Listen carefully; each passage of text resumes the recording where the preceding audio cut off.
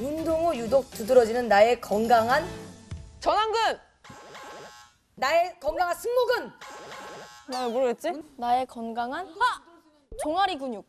코끼리 다리. 맞아? 맞아요? 아싸! 코끼리 다리? 잠깐만 이게 이게 말이 돼? 운동 안 돼요. 애도 두드러지는 거 저게 슬림해줘야지. 아 근데 그게 있, 그게 있다요. 그 다음 있다요? 날 뭐가 있다요? 제가 네. 그 맨날 맨날 이제 선생님한테 몸무게를 이제 찍어서 보냈는데 어. 막 운동하고 다음 날 몸무게 재는데 어 선생님 몸무게가 더 많이 나가요. 이런 날이 있어요. 어, 근육 그런 근육이 붙어가지고 그러면 네, 부어서 그러면 아 붓기야 걱정 마 곧 빠져 급 이렇게 와요. 붓기라고? 네. 나는 붓기라고 하면은 그냥 풍선처럼 이렇게 됐다가 이렇게 아니요, 붓는 건 수분이죠.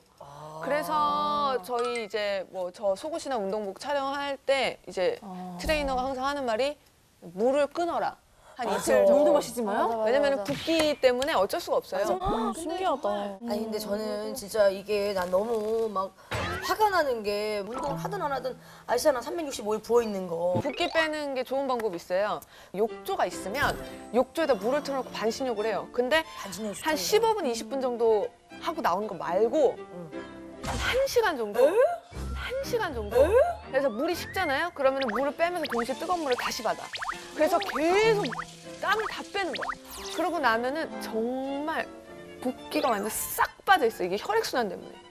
그리고 만약에 욕조가 없으시다 하시는 분들은 양동이 같은 거나 대야 있죠. 아, 거기다가 그냥 발 담그고 한 시간 동안 계속 뜨거운 물.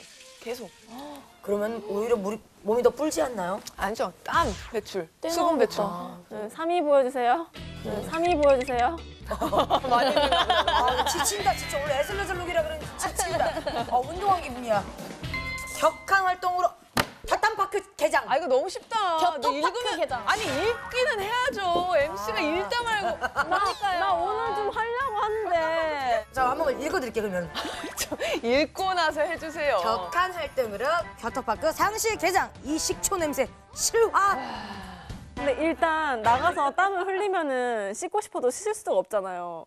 그럴 때 냄새는 어떻게 해요? 나는 정말 안 된다 싶으면은 요즘에 그 powdery한 물티슈 있죠. 물티슈인데 딱 딱, 닦잖아요. 그럼 그 안에 파우더 성분이 있는 거야. 그래서 금방 마르면서 뭔지 알죠? 겨드랑이 닦으라고 오. 나오는 거. 아 그런 게 있어? 있어. 그거 근데 있어요. 그게 정말 파우더 바른 것처럼 뽀송뽀송해져요. 그런 제품들을 저는 완전 상비해 놓고 있거든요. 그 데오드란트도 보니까 약국에서 파는 거는 자기 전에 바르고 자면 그게 지속 효과가 막 진짜 몇십 시간씩 가는 게 있더라고요. 뭔지 알아요. 뭔지 알죠? 아 뭔지 알아요.